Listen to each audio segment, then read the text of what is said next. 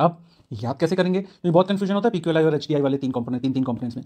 तो भाई देखो, नाम में ही उसका अर्थ है ह्यूमन डेवलपमेंटल इंसान को डेवलप होने के लिए किन किन चीज़ों की ज़रूरत है? तो ह्यूमन को, यहाँ लिखा हुआ देखो ह्यूमन को डेवलप होने के लिए क्या क्या करना चाहिए? तो देखो ह्यूमन को डेवलप होने के लिए सबसे पहले तो पैदा होना ज़रूरी है पैदा होने के बाद स्कूल जाना ज़रूरी है, स्कूल जाने के बाद पैसा कमाना ज़रूरी है। भाई ह्यूमन के डेवलपमेंट के लिए तीन ही चीज़ें तो ज़रूरी है मुख्यतः। सबसे पहले तो डेवलप होने के लिए पैदा होना पड़ेगा। पैदा होने के बाद फिर स्कूल जाना पड़ेगा और डेवलपमेंट होगा और स्कूल जाने के बाद पैसा कमाना पड़ेगा तो फुल डेवलपमेंट हो जाएगा। तो ये तीन चीज़ें।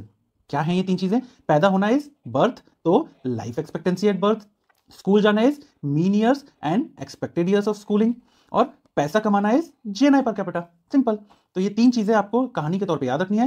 पैदा होना, फिर स्कूल जाना, फिर पैसा कमाना। ह्यूमन डेवलपमेंट के लिए ये तीन चीज़ें ज़रूरी है। पैदा होना, स्कूल जाना, पैसा कमाना। पैदा होना से birth that is life expectancy at birth school जाना is mean years and expected of schooling पैसा कमाना इज़ जीएनआई पर कैपिटा तो ठीक, ये तीन